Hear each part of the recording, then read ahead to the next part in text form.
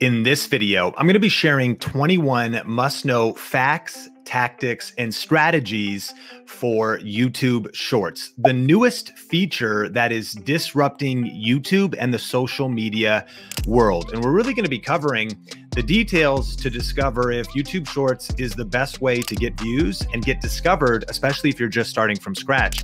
But also, what are the cons of YouTube Shorts? Can they hurt your analytics? Can they hurt your channel? Can they annoy your viewers? And everything else you need to know when it comes to YouTube Shorts. You got to just press record. Building YouTube Shorts is a new way to watch and create on YouTube. Really, YouTube Shorts is a app feature that rivals TikTok and Instagram Reels. And with the popularity of TikTok and Instagram Reels and short form content like that, you this is YouTube's um, response trying to take that market share back from Instagram, TikTok, and other short form places. Now, it just was announced that the Shorts camera is available to everyone in the US and is being rolled out right now. We'll talk about that with these 21 different facts. But YouTube Shorts started in beta. And so it's been tested mainly in India and it's been a massive impact in India. And then they've been rolling out YouTube Shorts to different creators at different levels. In a recent earnings report, YouTube confirmed that Shorts were getting 6.5 billion views a day. So that means this could be a very major way for you to get views on your videos and to start building. So let's cover some facts and smash the like button if you're fired up for this content. Number one, all of US creators have access to the Shorts camera that was just released. And what that looks like is when you go to the post page, you will be able to start creating right from your smartphone. Pretty cool.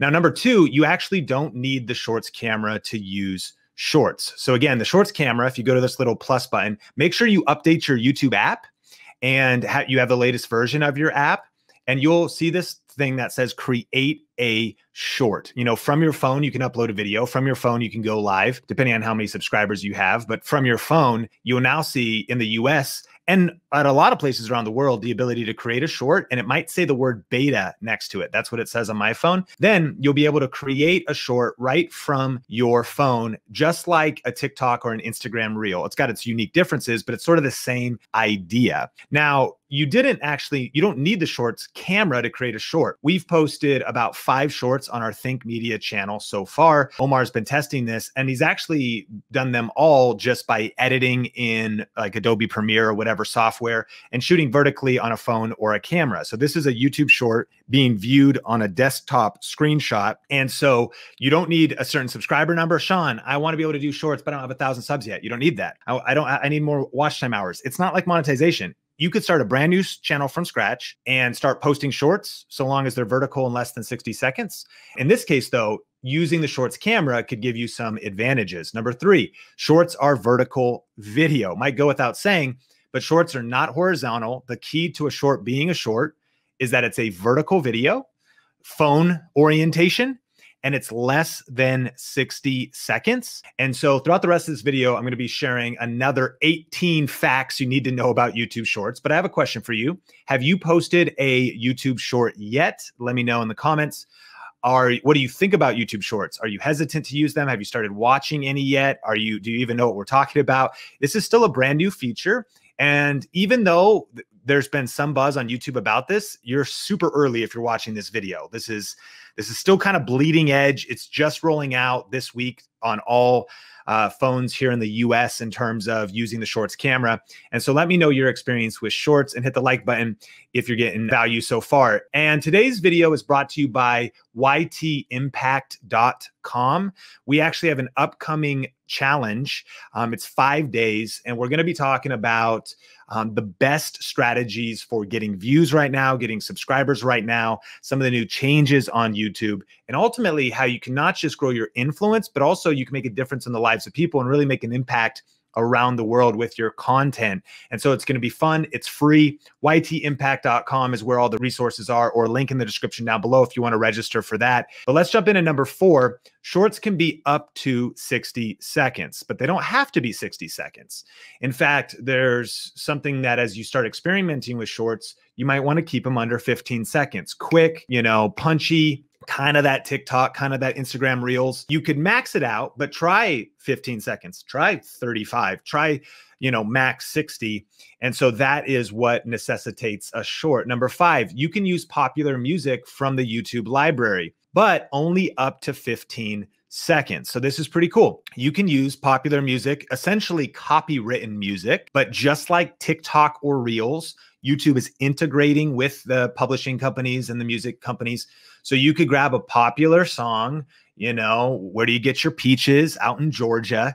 Pull that in, do your dance, or just put it on your tutorial or your education content or your, you know, entertainment content. Key, as of right now, you can only use 15 seconds of the song. So I was testing, I uploaded a 30 second video and the song just stopped at 15 seconds and then it was silent unless there was audio on the video. The music integration is going to be more for 15 second, really short form content. What's cool, again, is you can create that right from the shorts camera. But assuming you have the shorts camera, you can also upload a pre made video and still integrate that with the popular music from from the YouTube library. Captions are this is kind of a new thing they announced are auto generated, or you can also self supply the captions. There's a way to flip that on, and you can upload manual cap- captions. This is not unlike a typical YouTube video, and the viewer can toggle between those two things. Number seven, how to get views. So, a couple different ways to get views. Why shorts, Sean? How am I going to get views on shorts? So, what you can see here is there is a traffic source on the right side of the screen of on desktop analytics saying that this short, it was 58 seconds, and Omar made a video on five simple YouTube video ideas for beginners. So suggested videos was the largest traffic source in the last two days, but shorts brought in 18.5% of traffic. And so the first way you can get views on your shorts is what's called the shorts shelf. So if you've updated your YouTube app, you could log into your YouTube app and go to either the homepage or the subscriptions tab, and you'll see stories. That's like a stories shelf. It's not YouTube stories. YouTube Shorts is different. And you could scroll and eventually you should see some YouTube Shorts. Now, from my testing, as I'm seeing right here, I'm actually not seeing the short shelf. So what I'll do is I'll maybe go to explore subscriptions. Maybe I'll crash the app and I'll reopen the app and eventually that shorts shelf will show up. So basically the way you know if you're going to see if uh, you see it or not, there you go. So it says shorts beta. And I know this will be like weird depth of field, but I can, you know, you can scroll between and this is the shorts shelf on the home page of um, my smartphone. And once I click in one of those, I can go down a rabbit trail of shorts being recommended to me. The first couple are maybe from channels I've subscribed to then it'll lead me to channels I have not subscribed to. So this is the dream of shorts, right? That you could start getting discovered and getting traffic from the shorts shelf. And so that's just one way of getting views. Here's another short. It was 44 seconds.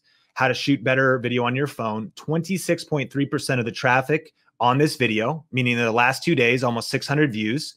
So that means 50 views of this video in the last two days came from the shorts shelf or shorts players or shorts traffic, right? Now, they may already know Think Media, but again, that is the chance to meet 50 new people you've never met before. Super powerful. Number eight, how to get views, the shorts tab. Now, this was just announced. They have said that shorts will actually replace the Explore tab on the home screen it sounds like and seems like YouTube's going to be leaning super heavy into the Explore tab. I've also seen up top, I don't know if you've noticed these little bubbles. There's little bubbles at the top that allows me to filter my content. I can filter it right now. I could click confidence, Grant Cardone, sales, podcasts, motivation. So it's studying my viewing behavior and it's letting me like select categorically what's being shown to me on the homepage.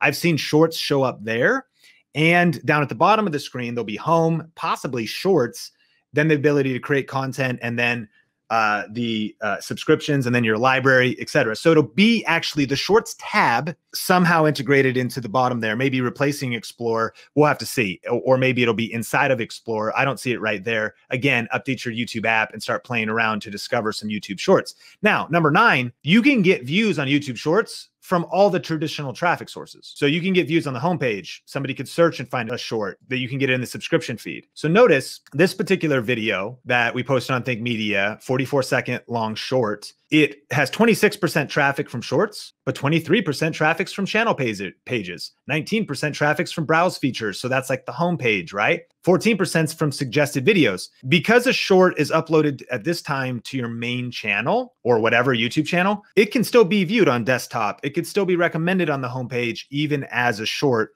of course, shorts lend themselves more towards mobile, but we're getting a lot of traffic from desktop and all of the traditional YouTube traffic sources. Number 10, you can watch shorts on desktop and smart TVs. A lot of people, the majority, because Think Media is established and has subscribers, are actually watching shorts just on desktop, you know, black on the side of it. You can also watch shorts on smart TVs, but every night, pretty much every night, I watch YouTube on my smart TV with my wife and my son, Sean Bradley. We are flipping around. We almost, we really never see shorts recommended. Like they don't really show up on the smart TV. However, if you're subscribed to a channel, you can find it watch it, and then sure enough, it'll be vertical on your TV. Tony Ariola and I on the Think Media team were debating about this. He was like, "Man, I, you know, I hate vertical on a smart TV or whatever. You know, it doesn't feel like the right experience." And I said, "I actually don't even really notice. I mean, obviously you notice." But I think about a channel like Daily Dose of the Internet, and they mix together full screen content, they mix together viral content from like a TikTok. And to me, it kind of all works together. And I've noticed we haven't seen a lot of negative comments from people watching shorts on desktop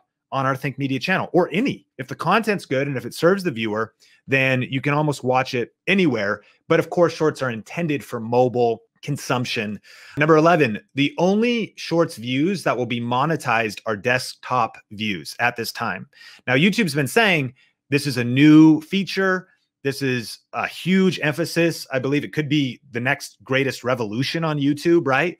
And really a new thing to lean into or maybe it just kind of levels out and it's just a segment of YouTube, kind of like Snapchat didn't die and there's like a segment of people. Who knows? We'll see where it goes. So they're going to be exploring monetizing shorts potentially directly. But at this point, it's only if the desktop views that are monetized. For example, this short, 58 seconds long, has gotten 19,000 views. Now here's what's cool. It grew the channel 31 subscribers. So that's that's growth and they can watch other videos, not just shorts, now that they're a subscriber, right? And it's made $8.63. So that is not super impressive because the only views that are A monetized are going to be the, you know, desktop views and B the video sh- so short it maybe is not going to make a ton of money. Now here's one 44 seconds. The uh, playback CPM and Think Media here 13 bucks, pretty good. The RPM oh my gosh, is $3, meaning we keep about four bucks. YouTube's keeping 10 in this case. Ouch, YouTube. Uh, and, but you know, it brought in what, but point is this our most profitable videos on Think Media are actually our longest videos, mainly probably because there's multiple ad spots. So we can go to revenue and look at our top videos. Our top three videos are like 45 minutes or longer that earn money. And then one of our other videos probably because of high volume and that would be because of multiple ad spots again. So this video has earned obviously a lot of views $20000 when you go to monetization and you go to manage mid rolls you know one two three ads play during this ads can play before and after. So it's potentially more ads being seen but i've noticed that sometimes revenue goes up when content is longer. So the punchline is really just thinking about the fact that from a direct YouTube AdSense monetization standpoint, shorts is is really not the way to go, but it doesn't mean you shouldn't use them. Number 12, adding uh, hashtag sh- shorts in the title or the description might increase your views. Now, this is also kind of maybe outdated information because YouTube has been rolling out in beta, YouTube Shorts has been testing and like does the algorithm does the platform see it? Hey make sure to add hashtag shorts to the title. Hey make sure to add hashtag shorts in the description. And this is maybe subjective information. Here's what i've learned. Youtube will know that your video is a short if you do not add the hashtag. And the way you know that is on mobile if you look at the lower right hand corner of the video it actually doesn't show you the time it shows you the shorts logo. All you have to do is upload a video that's vertical in less than 60 seconds and it seems to me at this point, YouTube knows it's a short. However, many different experts or whoever have said that if you add hashtag shorts to the title or description, it might help it reach the shorts shelf or being recommended in shorts sooner. We have not been adding it to the title just to keep the title cleaner. we add hashtags to the description. In this case, we said hashtag think media, hashtag Omar El Takrori, and hashtag shorts. So shorts is shows up as those three hashtags above the title. And whether it's there or not, we've seen traffic from the shorts shelf. So that's up to you to test. You know, best practice could be putting in the title if you want, putting in it in the description so it shows up as a hashtag if you want, or not using it at all. You can see how we're doing it there by just putting it in the description as a clickable hashtag. That is the shorts logo on screen. If you're listening to this on audio, it's this little kind of S a version of the red YouTube background with the play button. And you'll see this little icon in the lower right hand corner of your mobile phone on a shorts video. And if you scroll through your subscription feed and some of the people you're following are uploading shorts, you should see that little logo. Number 13, you can post shorts on your current YouTube channel or a new channel. Huge question we get all the time. Sean, should I post shorts on my main channel? Should I start a second channel? A couple rapid fire answers. Number one, managing two channels is very difficult. So starting a second channel might be something you want to avoid if time is scarce. Number two, if short form content would really violate your viewer and the promise you've made to your viewer, which may just be an assumption you're making, but if that is the case, yes, you could potentially shift your content to a shorts only channel. Another thing you can consider is that if you have a big library of Instagram Reels or TikToks, you know you can download your TikToks without the TikTok logo by going in and, and it allows you to access your data. And I think you can download them all at once. That's best practice, by the way. Reels hates when they see the TikTok logo there and they'll reduce your search,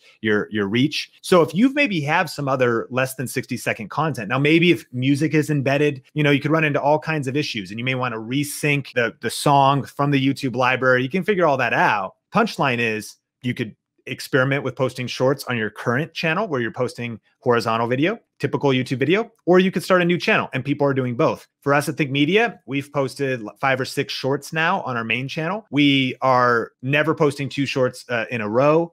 And our goals eventually, we post five videos a week on Think Media right now. Our goals eventually be at seven days a week and do two shorts a week. We've at times to put some ease on our schedules. we're shifting things around, done like three normal videos and two shorts. And from our standpoint and our, sh- our share some personal insights and tips towards the end of, of this uh, video is uh, it's been great.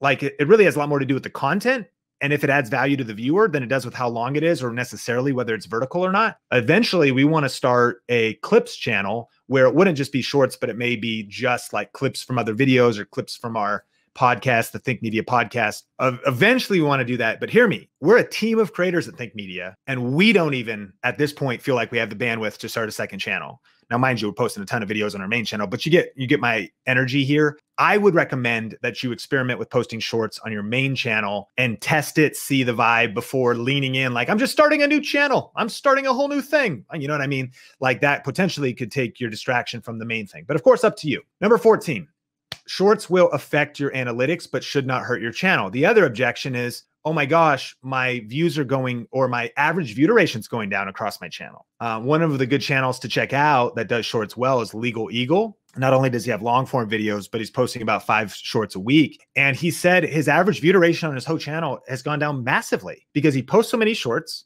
They're short. And so the AVD, the average view duration on the whole channel, has been pulled down. But then he said but it didn't hurt the channel. It just changed the numbers around.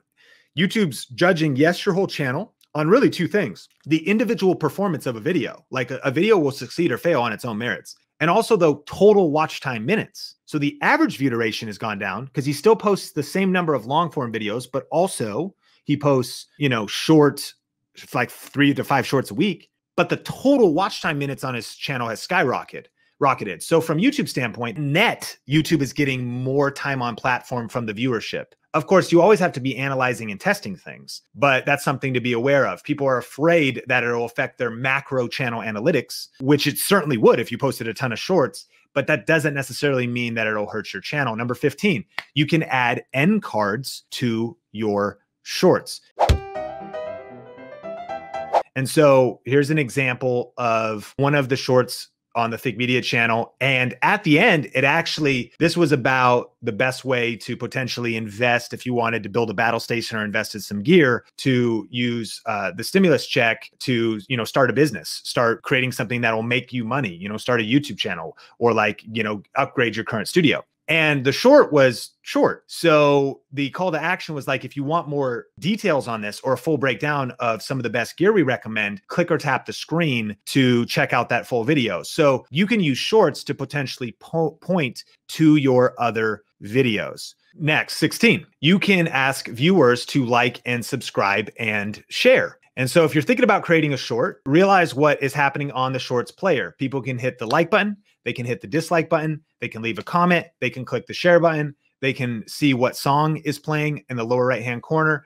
Um, they can click the subscribe button. They can click on your channel and go to your channel. If you understand how the navigation of YouTube Shorts works, it can influence your content and potentially your call to action. For example, lately we've been letting our shorts just survive on their own merits. Hopefully, recommend one of our videos next or another short next. Think about the viewer mindset. The viewer mindset might be that they are wanting to continue to watch a bunch of short form content. So they may not want to leave. And they're just kind of going through these quick hits, dopamine hits of like cool dancing. Oh, cool tip. Oh, wow. That's a cool way to use the camera. What a cool camera hack.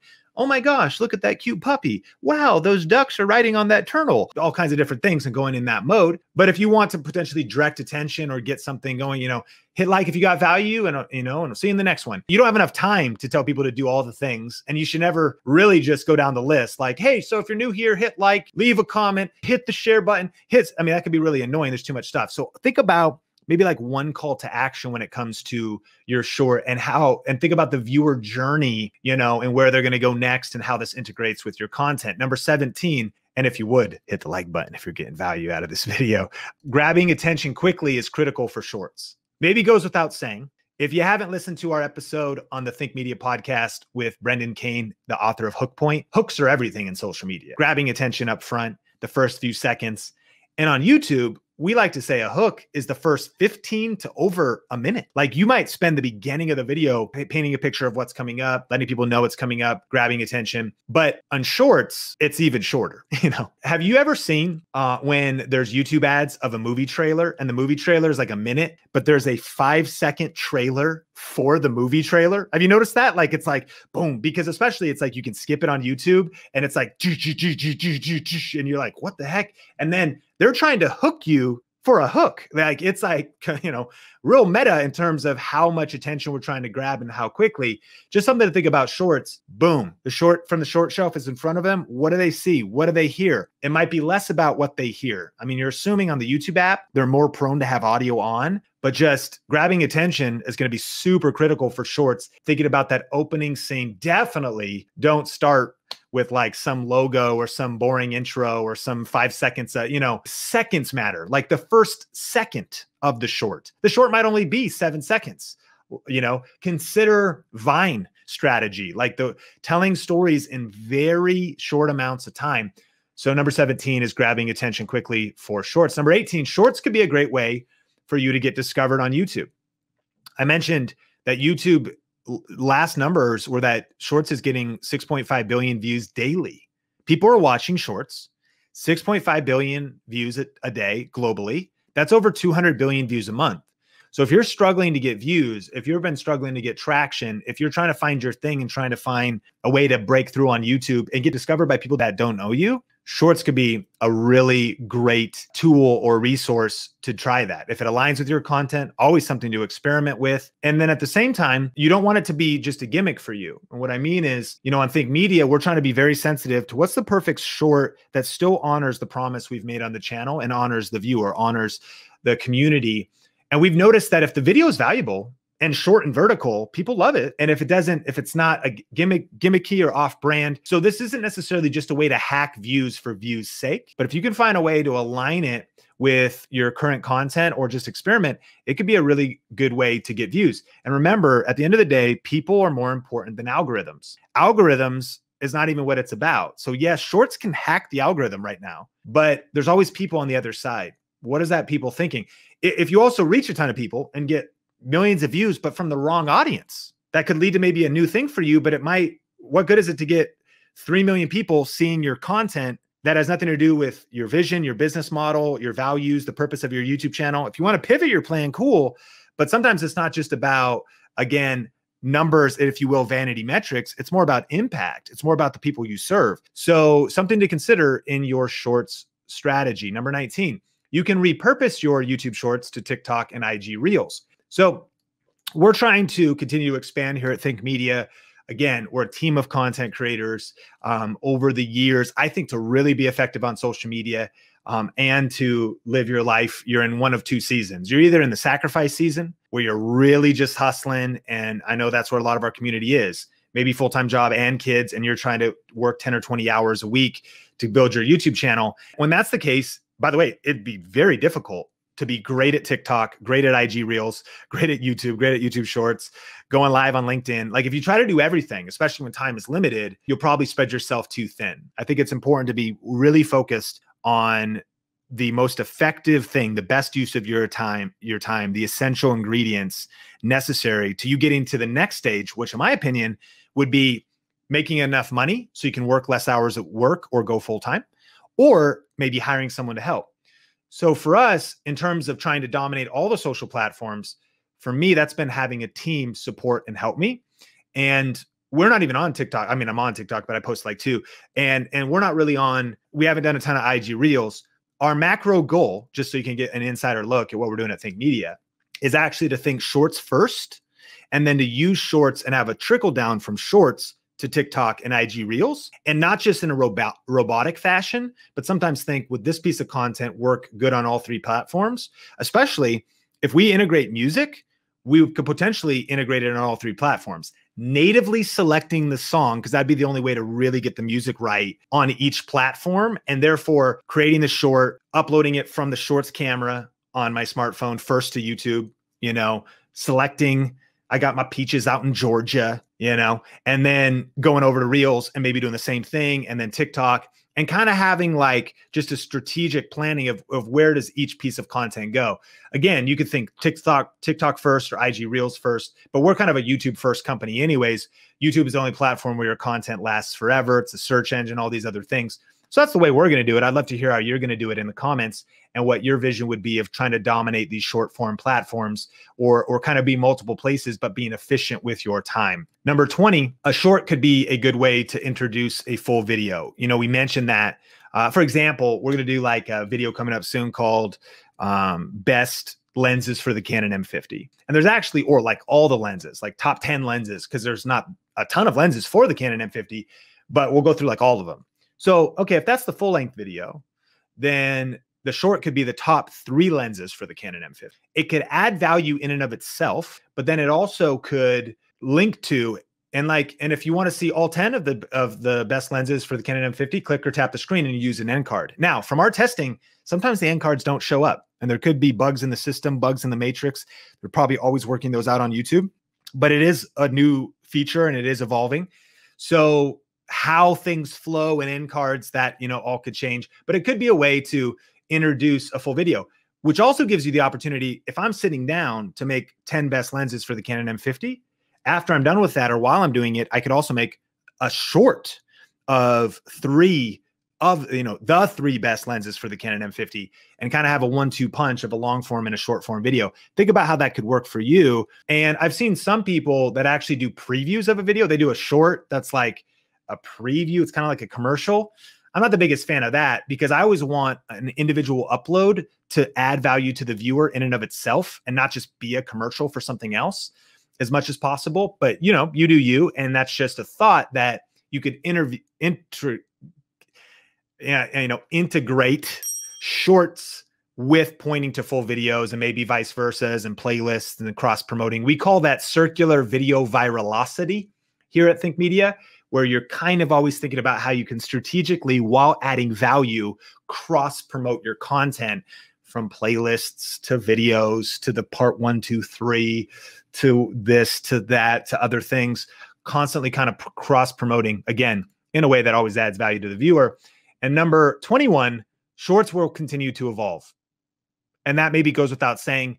They're at a huge place of maturity right now because uh, they're the cameras now rolled out to the full US. You can see YouTube is fully behind shorts. It's going to be a thing for sure. It already is a thing. You know, I think it's worth it to think things through. And here's my point: if you adopt shorts in the next one, two, three months, three months from now, it's going to be new. If you adopt it in 2021, it's going to be new in 2021. Mark Zuckerberg said, move fast and break things. Unless you're breaking stuff, you're not moving fast enough. Posting one short on your channel is not going to like ruin your whole world. You know what I mean? It's not your subscribers aren't going to like hate you, but you got to listen and always listen to their feedback and think about the value.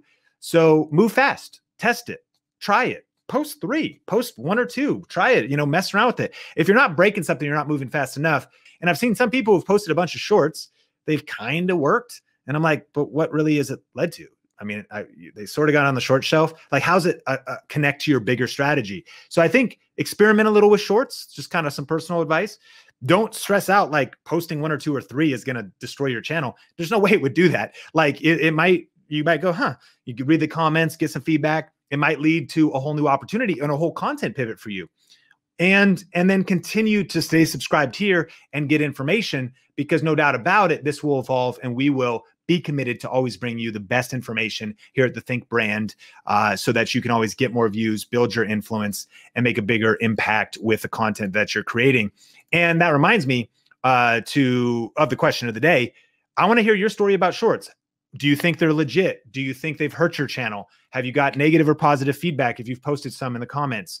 Have you posted one yet? Is the shorts camera? Did you update your app? Do you see the shorts camera down below? Maybe if you're outside of the US, do you have the shorts camera? What questions do you still have about shorts? Uh, I would love to hear from you. And those were just some of my thoughts. And as a reminder, I'm so pumped because today's video is brought to you by the YouTube Impact Challenge. This video is brought to you by YTImpact.com, a five day live and highly interactive challenge where you will learn how to start and grow a YouTube channel that helps people and makes money. You'll get the newest strategies and learn exactly what's working on YouTube right now. Register today at YTImpact.com.